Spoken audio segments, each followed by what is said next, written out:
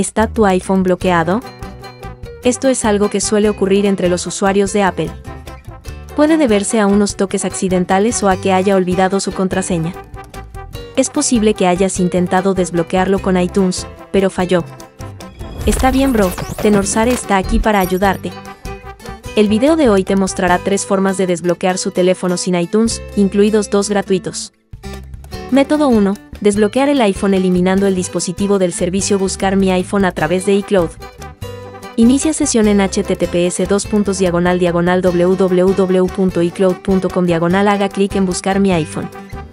Selecciona el dispositivo y haz clic en eliminar de la cuenta. Haz clic en eliminar. Después de unos momentos, podrás configurar tu iPhone como un nuevo iPhone. Método 2. Comunicarte con el soporte técnico de Apple para desbloquear el iPhone. Haz clic en https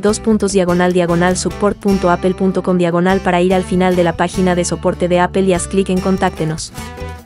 Va a olvidar la contraseña de ID de Apple. Elige cómo ponerte en contacto con el soporte técnico de Apple. Sigue las instrucciones del soporte técnico de Apple para restablecer tu contraseña. Método 3. Usar 4UKI para desbloquear el iPhone.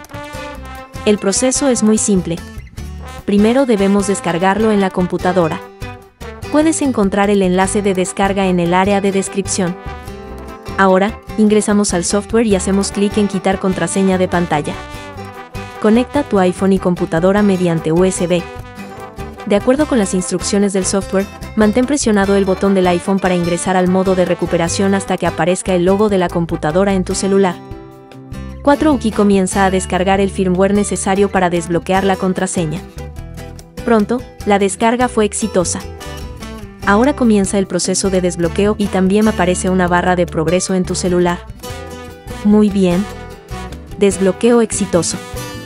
Ahora puedes comenzar a restablecer tu dispositivo y encenderlo sin problemas. Todas las formalidades están completadas. Bien, eso es todo por el video de hoy, gracias por verlo. Si esto fue útil para usted, deje un me gusta y suscríbase. Si tienes alguna pregunta, deja un comentario debajo del video y nos vemos en el próximo video.